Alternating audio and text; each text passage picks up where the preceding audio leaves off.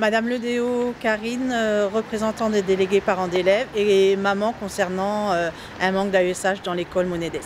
Alors c'est quoi l'objet de votre manifestation aujourd'hui? Eh ben, c'est le fait que les enfants sont démunis sans AESH, les maîtresses aussi, et euh, c'est un, c'est énormément, c'est un manque énorme pour l'école.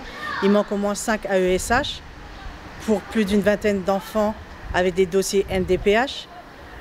Et voilà quoi.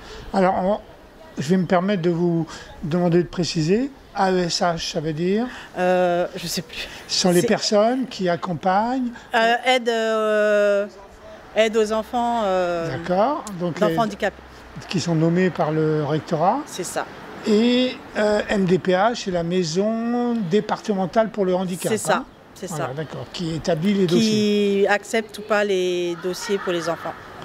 Et alors cette situation euh, perdure depuis euh, la rentrée scolaire, je présume? Euh, on va dire que c'est fin, fin l'année dernière. Fin de rentrée. ça a commencé vers mai, on va dire. D'accord? Et donc les, les enfants concernés se trouvent dans les trois écoles. Dans, oui, dans, dans les écoles euh, du centre-ville de Lizy-sur-Ourcq. D'accord.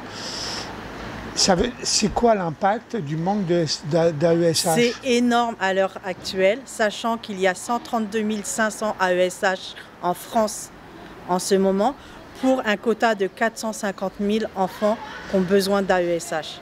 Donc on va dire l'équivalent d'une AESH pour trois enfants. Voilà. D'accord. Et quand il n'y a pas de SH, ça veut dire quoi pour les gamins? Et ben, ils, ont des difficultés à l'école. Ils se remettent, euh, ils avancent pas. En fait, ils ont l'impression qu'ils euh, sont bloqués et ils sont obligés de se débrouiller seuls. Il y a les instituteurs qui viennent les aider, mais ils n'ont pas qu'un enfant, les, instituteurs, ils en ont plusieurs dans leur classe. Donc, euh, ils font maximum avec les enfants. Et quand il y a une ASH accompagne l'enfant, euh, l'enfant peut plus avancer, comprend mieux. Et je prends l'exemple de mon fils qui est dyslexique. Tout ce qui va être oral, ça ira, écrit, il n'avancera pas, il régressera. Et là, à l'heure actuelle, il a eu une AESH euh, 10 heures depuis la rentrée en tout et pour tout. Et depuis, il est à l'abandon aussi. Donc euh, il régresse à l'oral. Non, il avance bien à l'oral, mais il régresse à l'écrit et bah, en fait, il faut tout recommencer à chaque fois. Moi, j'en veux énormément à l'académie parce qu'on fait des contrats de 3 ans au niveau des AESH, renouvelables deux fois. Au bout de la troisième fois, on dit au revoir, même si les femmes, elles ont fait leur travail correctement. On leur dit au revoir sans merci, sans rien du tout. Vous avez fait vos deux contrats, on ne peut pas vous renouveler, sinon on est obligé de vous embaucher. Voilà. D'accord. Voilà le souci d'AESH aussi à l'heure actuelle et donc on oublie de parler. Tant qu'il n'y aura pas d'aide, on continuera et on fera, si ça avance pas, on fera avec les autres communes et toutes celles qui voudront venir se lier à nous, on, on refera des manifestations et, euh, jusqu'à ce qu'on soit entendu et qu'on ait des aides. Je suis Madame Moussala, je suis représentante euh, élue des élèves de l'école Monedes. Je suis maman de Suleiman qui est en classe de CE1. Et vous êtes venu manifester. Oui, pour euh, justement le manque d'AESH dans les écoles pour les enfants en situation de handicap. D'accord. Et votre enfant euh, lui-même est. Non, mon enfant ne bénéficie pas. D'accord. Donc c'est par solidarité avec les mamans et les parents. Et les représentants élus de parents d'élèves, oui. Toute l'équipe enseignante est solidaire avec nous et euh, bah, normalement on attend le rassemblement d'autres parents, euh, dont des parents euh, qui ont ce besoin euh, d'avoir une AESH pour leur enfant. Donc j'espère qu'ils seront là. Bonjour, je suis Madame Tibi. Je suis maman d'un élève de moyenne section sur l'école maternelle Bellevue à Lizy-sur-Ourcq. Euh, mon fils a une notification euh, d'AESH depuis le 15 mars. À la rentrée, il n'avait pas d'AESH euh, attribué. Il a fallu vraiment euh, qu'un travail soit fait pour qu'il ait une attribution à la dernière minute euh, par une AESH qui était là déjà pour d'autres enfants. Donc elle se partage plusieurs enfants au sein de l'école.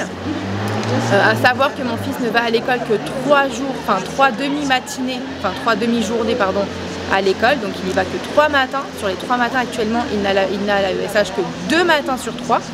Euh, il se peut que si un autre enfant se rajoute, on lui enlève encore une demi-matinée. Euh, c'est juste pas possible qu'il puisse progresser et travailler dans de bonnes conditions et également pour la maîtresse de gérer sa classe sans aide humaine, sinon on les attribue pas. Mon fils a un trouble autistique, il a un trouble du spectre autistique, euh, donc il y a un problème au niveau de l'attention, il peut avoir parfois des comportements euh, un peu brusque parce qu'il faut le canaliser. Il ne sait pas forcément bien tenir son crayon, il ne sait pas forcément découper avec un ciseau. Donc il a besoin qu'on l'aide pour, pour faire ses tâches pour qu'il puisse progresser. Il est capable de progresser comme tout le monde, mais avec une aide. C'est pour ça que justement, on, attribue des, aides humaines, mais s'il n'y a pas d'aide humaine, nos enfants, bah, ils ne peuvent pas progresser. Et le mien, il a besoin vraiment d'avoir quelqu'un pour l'aider. Je suis euh, la maman de Anaël qui est en classe d'Ulysse. En classe d'Ulysse, c'est euh, une classe spécialisée pour les enfants en difficulté. Ça veut dire quoi le, manque, euh, le manque d'AESH dans, bah, dans les écoles Ça veut dire que des enfants n'en ont pas carrément depuis le début de l'année. Il y a des enfants qui en ont réellement besoin et qui n'en ont pas. Et bah, les AVS actuels sont obligés de se dispatcher au lieu de s'occuper d'un enfant, ils s'occupent de trois. Alors bonjour euh, Maxence vous êtes le, maire de, de sur ourcq et vous êtes euh, venu, vous avez répondu à l'appel des, parents qui ont organisé cette manifestation. C'est quoi votre soutien? Oui, c'est un soutien euh, total et entier face à la difficulté de recruter des AESH dans, nos écoles, surtout pour nos enfants. Donc les, AESH, e pardon, ce sont des personnes qui vont venir aider, apporter un soutien quotidien euh, aux enfants, euh, par exemple, euh, souffrant de handicap ou d'un trouble autistique. Et actuellement, nous sommes en sous-effectif, hein, il n'y a pas assez de, personnel présent sur nos écoles et donc ça plonge nos enfants et les équipes éducatives dans la difficulté. Donc j'ai vu que les, les, parents avaient entamé des démarches, rempli des pétitions, envoyées au rectorat. Les enseignants avaient eux-mêmes obtenu un rendez-vous avec l'inspection académique pour discuter du sujet. Euh, de votre côté, vous avez des actions Vous avez mené des actions? Alors non, moi j'attendais d'avoir un peu les versions euh, des uns et des autres, puisque j'ai pu voir euh, l'inspecteur de l'éducation nationale la semaine dernière, qui m'a dit qu'à son niveau, à sa connaissance, des fonds étaient débloqués pour permettre ces recrutements, mais qu'il y avait des difficultés de recrutement. Or, lorsqu'on parle avec les parents d'élèves, on s'aperçoit qu'il a quand même eu plusieurs candidatures qui peut-être ne correspondent pas aux critères idéaux souhaités, mais face à la difficulté et la situation dans laquelle on se trouve, je pense qu'il faut que l'éducation nationale réagisse, fasse preuve de, plus de souplesse dans le recrutement, euh, afin de permettre de combler ces postes qui sont vides. Et d'autre part, il y a un effort important de l'État à faire, parce que le, salaire qui est proposé pour ces postes est quand même extrêmement faible, alors que c'est un poste clé pour nos enfants qui demandent beaucoup de, patience, euh, d'écoute euh, envers, envers les enfants. Donc j'invite également l'État à, se saisir de la question euh, plus euh, ardemment et à augmenter les salaires de ces personnes qui ont des postes clés, je le répète, euh, pour nos enfants. On a vu effectivement il y a quelques semaines de cela une grande manifestation nationale des AESH pour réclamer effectivement des, conditions de, vie un peu meilleures. Hein.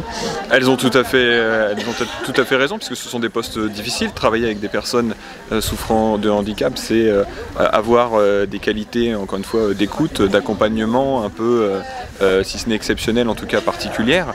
Et ça se, ça se récompense, ça se valorise. Et c'est pas avec euh, le salaire euh, qui est proposé actuellement qu'on va susciter des vocations. Donc on ne peut pas d'un côté avoir un besoin vital pour nos écoles et nos enfants et ne pas mettre les moyens qui vont avec en face.